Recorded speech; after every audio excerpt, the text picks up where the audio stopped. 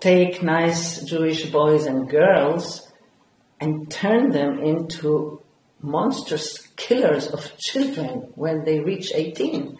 It takes a very long, thorough, and sophisticated education to do that. And that was my question, you know. How do you do that? How come, you know? And um, uh, we have an organization called Breaking the Silence where uh, soldiers confess what they did mm-hmm. in the West Bank.